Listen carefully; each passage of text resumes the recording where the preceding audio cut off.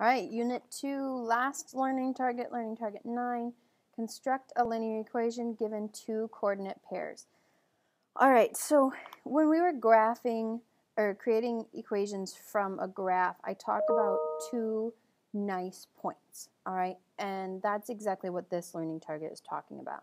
When you have those two nice points, you don't necessarily have them on a graph, but when you have them, you know what they are, you can make a full linear equation um, from those two nice points. We're going to make this equation in slope-intercept form, so in the form y equals mx plus b. Given the two points that you have, x1, y1, x2, y2, we're going to do everything that we've been doing. We're going to look at the change in y over the change in x, the rise over the run. Um, we're just going to do that using this formula now, okay? So if we have two points here, first thing I want to do is label them this is my x1, y1. This is my first point. This is my x2, y2. All right? Most of the time, we use the points as they come in a graph or as they come uh, just like because um, this one's going to be, and, but it doesn't really matter, okay? Um, and then we just plug them in. We plug these points into our situation here, or our equation here. So I'm going to take y2, which my y2 is 5 minus my y1, which is 3. So if I look here, my y2 is 5, my y2, my y2, that goes there. My y, my y1 is 3, so that goes here, okay?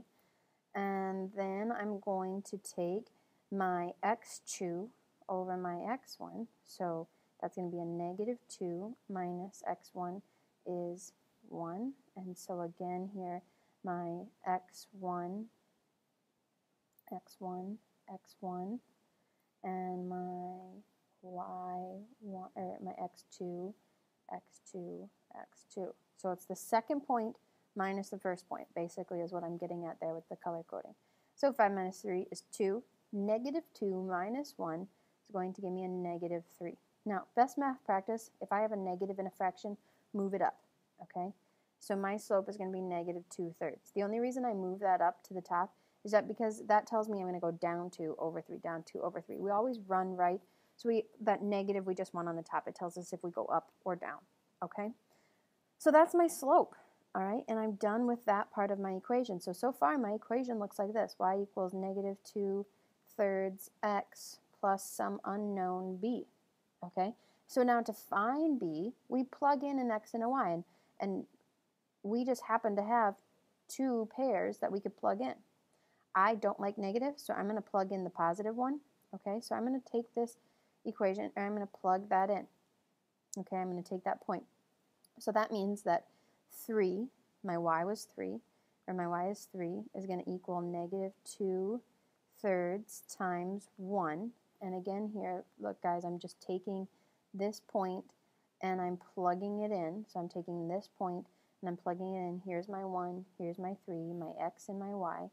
And I'm just going to solve because now we have b. We don't know what b is. Well, 3 is going to equal negative 2 thirds times 1 is just going to be negative 2 thirds. And we can either say, now what plus 2 thirds is going to equal 3, or I can add 2 thirds to both sides, add 2 thirds to both sides, and 3 plus 2 thirds is going to be either 3 and 2 thirds, if you want to write it like that. Or um, you can write it as 3 times 3 is 9 plus 2 thirds is going to be 11 thirds um, would be B. So my final equation, and I'll write it down here, I'll try to make it a little bigger. Um, I'll just write it.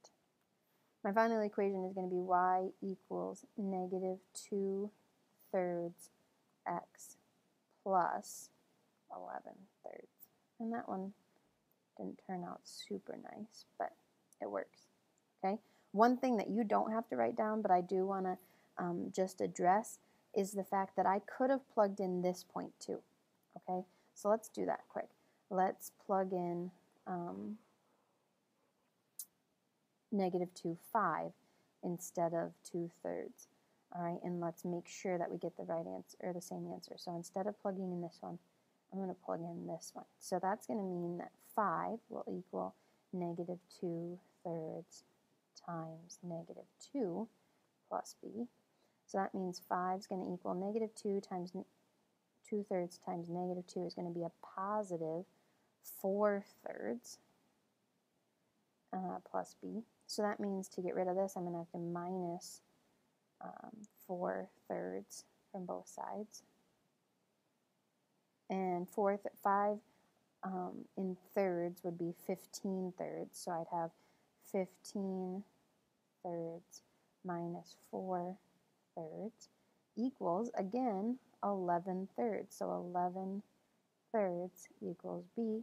Again, we'll have y equals uh, negative 2 thirds x plus 11 thirds. All right, let's look at some more examples. Let's look at some special cases. All right, right now, why do you think this is a special case? Well, it's going to end up being because there's a 0 here in the x, but we're going to look at it just the same as we would. So x1, y1, x2, y2. I'm going to set up my equation. I'm going to take y2 minus y1, so 1 minus 7. And then x2 minus y1, x1, 0 minus 2. That's going to be negative 6 over negative 2, which is going to be a negative over negative is positive. Positive 3 equals my slope. Okay. Now, so my slope is y equals 3x plus b. The fun thing here, and the, what, this is why this is a special case, is that if I were to plug in a point um, and, and try to find my y-intercept, what would I get? Some of you already know it because you can see it. Well, what is the y-intercept? The y-intercept is the y value when x is 0. We just happen to have one of our points say what when x is 0, y is 1. So we this one's kind of easy. y equals 3x plus 1 because we have our y-intercept given to us. This would be our y-intercept on the graph. Okay? So let's look at this one. Let's look at uh, x1, y1, x2, y2. We have 12 minus 8 and 3 minus 3. So 12 minus 8, that's going to be a difference of 4. 3 minus 3 is 0. Uh, what's 4 divided by 0? What's 4 divided by 0? What can we do with 4 divided by 0? Is that 0? Is my answer here going to be 0? Infinity. Why would my calculator say infinity? Your calculator might say undefined. But what, what is happening here is if we look at these two points, this is 3, 8, and then on top of that, it's 3, 12. This is a vertical line. What do we know about vertical lines? What does slope dude say about vertical lines? This is an undefined slope. We, we don't have a definition of slope here, okay? We can still write an equation. Uh, what's the equation for this line where x is always 3? Well, it's just x is 3, okay? And then finally, another special case here, we're going to have x1, y1, x2, y2. So we have 10 minus 10 and 9 minus 4. So that's 0. We have a 0 again over 5. But this time, what's 0 divided by 5? We can, we can divide 0 into 5 point, parts. That's just going to be 0 in each of them, right? So that's 0. So that's our slope. So y equals 0. Okay, 0x plus what? Well, I mean, what does this look like on a graph here? This is 4, 10, and 9, 10. So what this is going to be is just the opposite. It's a line where y just equals 10. y always equals 10. So the slope is 0. Um, so that's a horizontal line where y equals 10. x equals 3, slope is undefined. y equals a line, um, the slope is 0. Okay, and we've seen that slope dude says that this is 0 fun, right, as he's going across um, that part of the slope. All right, so before class, find the equation of a line that passes through your points 2, 6 and negative 2, 4. All right, that is what you need to do for class.